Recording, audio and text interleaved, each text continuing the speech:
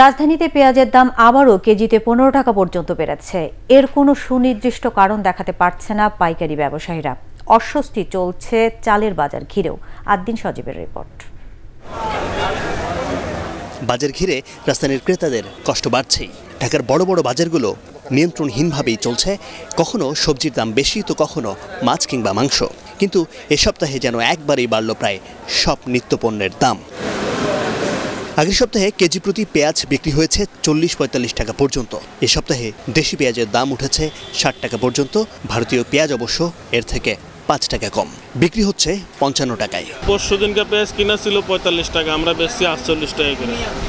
কালকে রাতে পেঁয়াজ কিনছি ষাট টাকা করে আজকে ব্যস্ত আছি আমরা বাষট্টি টাকা কেজি। দিন দিন যেভাবে বাড়তেছে মানুষ খুব সমস্যায় পড়ে যাবে। এমনি তো মহাসংকটে দিন যাচ্ছে।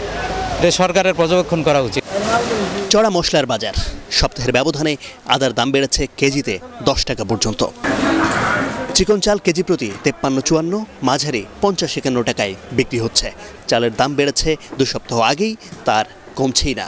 সিন্ডিকেট ব্যবসায়ীরা যেভাবে সুযোগ নেয় দেশে প্রাকৃতিক দুর্যোগের মধ্যে তারা সুযোগ নিচ্ছে আমার মনে হয় চালের কোনো ঘাটতি নেই। বন্যা দেখাচ্ছে কিন্তু আসলে ধানের দাম আর বন্যা এটা এফেক্টটা তো আরও তিন মাস পরে করবে এটা তো এক তিন মাস আগে করা উচিত হয় নাই।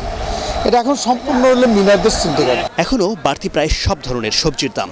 শীত আশি আশি করছে নতুন কিছু সবজিও এসেছে কিন্তু তার দাম আকাশ ছোঁয়া। এটা তো সহনীয় বাইরে চলে গেছে ঠিক তাই না? তো এখন মানুষ তো এখন না খেয়েও পারতেছে না। বাজারের এই অস্বাভাবিক পরিস্থিতি সরকারি সংস্থাগুলোর তদারকি ছাড়া নিয়ন্ত্রণ সম্ভব নয় বলে মনে করেন ক্রেতারা। আদিন সজীব এটিএন বাংলা ঢাকা।